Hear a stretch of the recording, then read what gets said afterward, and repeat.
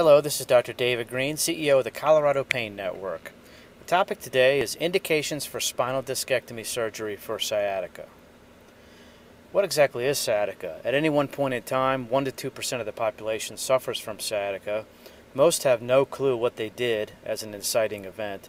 It's typically due to slow disc degeneration that results in a tear with the inner part squeezing out and pinching on the adjacent nerve root.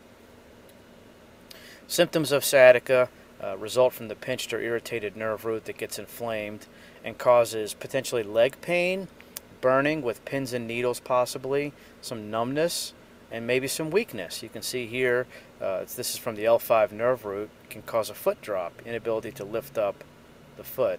Um, rarely you can get incontinence, and that becomes a surgical emergency. Initial treatments for sciatica, uh, short bed rest. They've shown that you know spending a week in bed is actually does more harm than it does good. Over-the-counter medications can be extremely beneficial, such as naproxen, Advil, Tylenol. Uh, physical therapy and chiropractic treatments, along with spinal decompression therapy, have been very helpful. Prescription medications, initially a Medrol Dosepak, can be helpful, which is a large dose of prednisone that tapers off over five days. Narcotic medication, along with muscle relaxers, and then neuropathic medications, which would be Neurontin or Lyrica, can help mitigate uh, the pain. Interventional treatments um, include trigger point injections to ease the muscle aching and spasms, and then epidural injections, such as you see here, where you have a disc coming uh, back and pinching on a nerve root. The epidural injection can bathe this area with soothing cortisone medication and relieve the pain dramatically. Indications for sciatica surgery. There are three types of indications. There are absolute, which means you really have to have it done. There are relative, which means you really should consider it, but it's not absolutely necessary.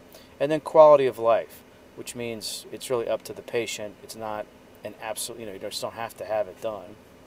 What you see here is the annulus fibrosus of the disc and then the nucleus, which is the inner gelatinous part. Then you have a disc bulge from degeneration where there's no tear but it just starts to bulge out. That can cause uh, a nerve root compression. Then you can have a tear where the disc actually comes out. Or you can have an extruded disc fragment where not only does it come out, it actually separates away from the disc itself.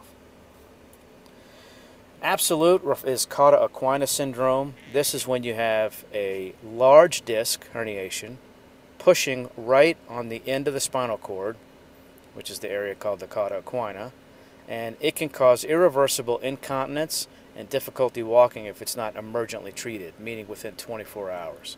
Okay, that's the one time that you really have to have surgery quickly, emergently, to prevent um, permanent complications.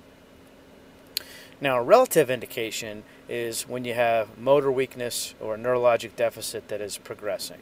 Okay, so a lot of times you just have the pain and numbness, but if you start to have a foot drop where you can't lift the foot up, or you have trouble lifting up, um, using your quads to lift up uh, your leg, then you know you want to consider having surgery because here's what, what we know.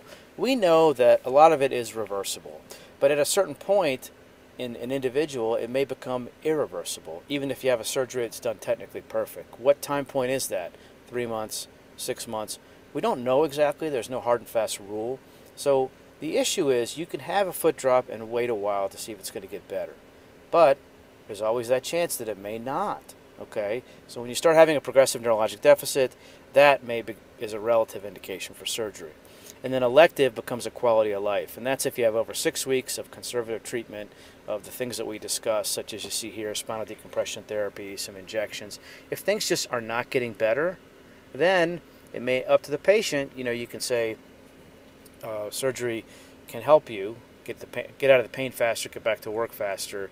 Um, you know, it's up to the patient to make that decision. You can just lay it out for them as to what the, uh, the pros and cons are.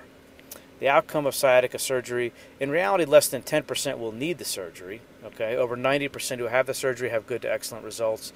In 2006, there was a study in JAMA that showed that at one year, the outcomes are identical for those who had surgery and those who didn't. But what it did show is those who had surgery helped increase mobility and decrease pain faster. Okay, but at one year, no difference in the outcomes. The top pain management clinics in Colorado are Colorado Pain.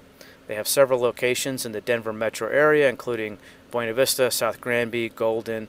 They take over 50 insurances with the board certified pain doctors who offer both medication management and the interventional treatments for all types of conditions, including sciatica. They've won the Patient's Choice Award five years in a row. The number to call for treatment is 720 306 9575 and visit us on the web at painmanagementdenverco.com. I'm Dr. David Green with the Colorado Pain Network. Your pain stops